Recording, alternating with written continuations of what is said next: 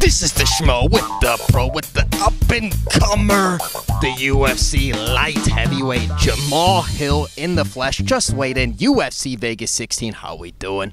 You doing good, man. We feeling good, ready to get it on. The schmo signed the petition. The paperwork is filled out. Welcome back to Sweet Dreams Stadium. Feels good to be home. Feels good to be home.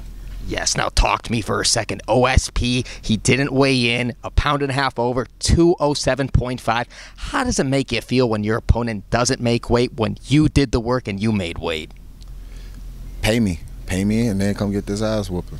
Yes, take a little extra money, get a little fight night bonus on the side. Sound like a good night to me. What about you? Yeah, the schmo can't complain, but how does it make you feel when they mispronounce the name? They call you Jamahal and not Jamal. They got a lot of mispronunciations. I mean, but it is what it is. I know I got a.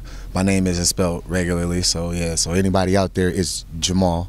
It's just Jamal. Yeah. You know what? The, sh- the schmo's got a bone to pick. They do the EPO testing, the drug testing. They barely do it. It's a little random, but they're always testing for marijuana. The NBA today, they just came out and they said that for the 2020 2021 season, they're not going to be testing for marijuana like they normally do randomly.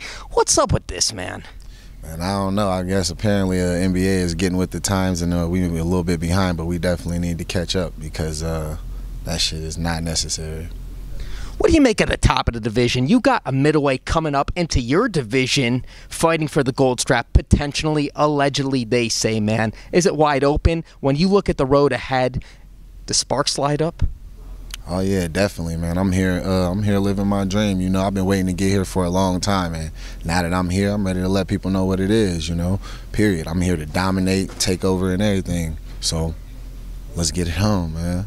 Let's go back about a decade ago, maybe half a decade ago. What was the life like for you on the grind from 2010 through 2015?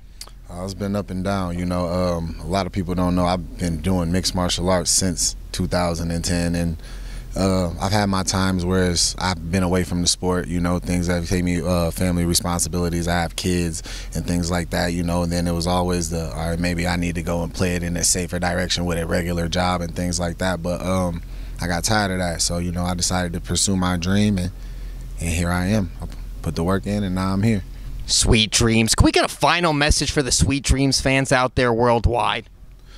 Uh, Sweet Dreams Nation, you know, I appreciate y'all. You know, I love y'all. Uh, keep supporting me. Y'all know what I bring to people that's really been following me.